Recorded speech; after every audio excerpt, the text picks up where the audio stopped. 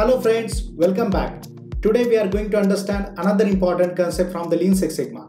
Today's topic is from the concept hypothesis testing.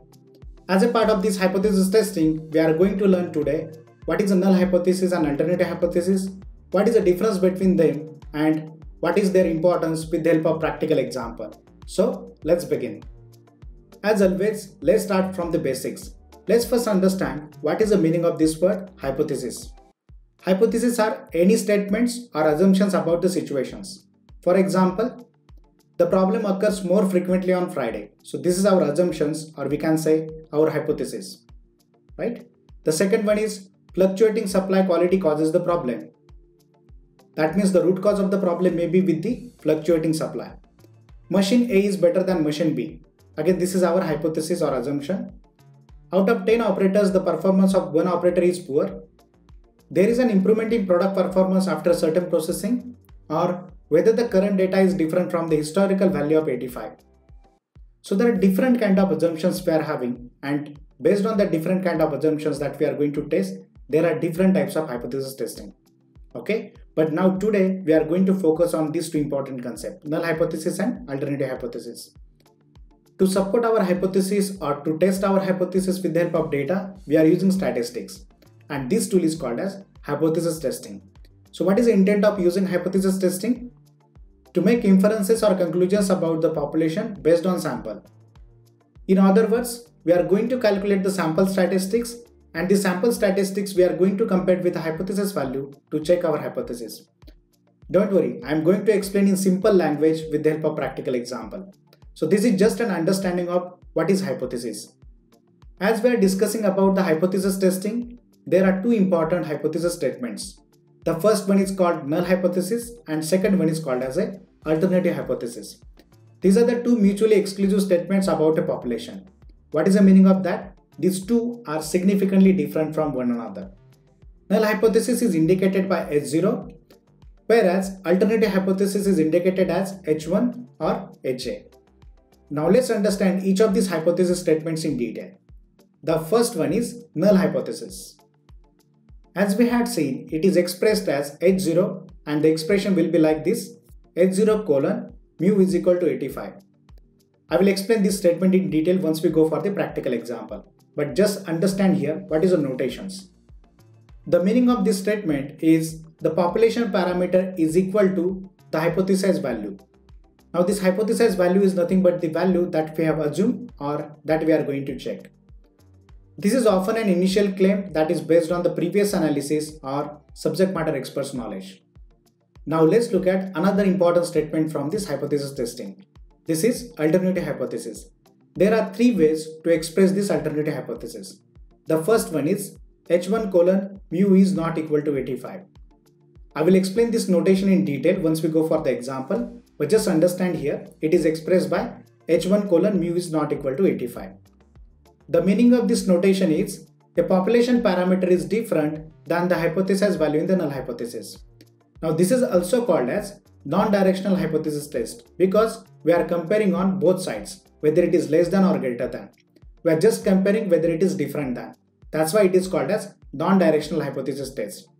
It is also called as a two-sided hypothesis test. This test is having the less power compared to one-sided hypothesis test. Now let's look at remaining two statements h1 colon mu is greater than 85. So this indicates that a population parameter is greater than the hypothesis value in the null hypothesis.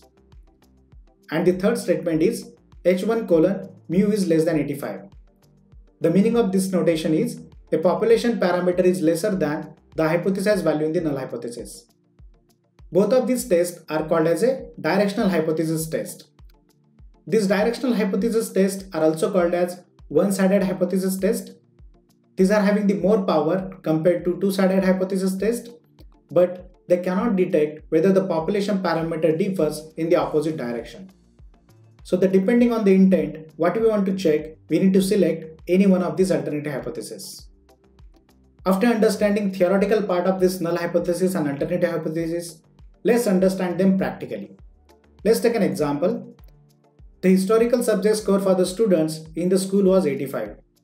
But this time, the class teacher randomly select the 10 students and take their average. Now this time, the average score is 90. Here, the class teacher wants to check whether there is an improvement in the subject score or not.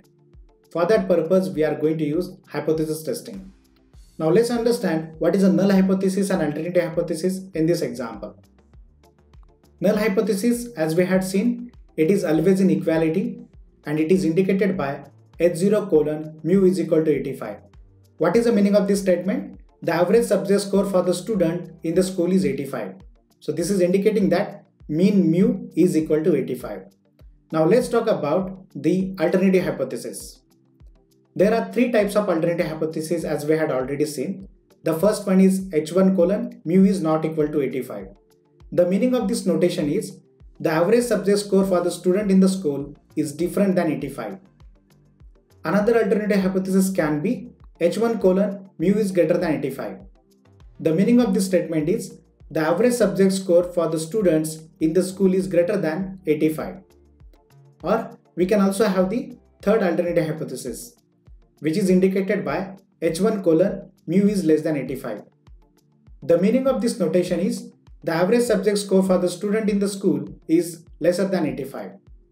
So the depending on the situation, we need to select appropriate alternative hypothesis. If you want to check whether it is significantly different from the null hypothesis, we can use the two-sided hypothesis test. If you want to check whether it is greater than or less than, we need to check one-sided alternative hypothesis test. In short, please remember these two important statements. Null hypothesis will be always an equality. Whatever the sample statistics or population parameter that we want to compare, that we need to put in null hypothesis as equal to. Whereas alternative hypothesis will be reverse of that. It will be talking about it is not equal to, lesser than or greater than the hypothesis value. I'm sure you are having the 100% clarity of these two important concepts. Let's learn another important concept into the next video. At the end of this video, if you found this information useful, then please do not forget to like, comment and subscribe.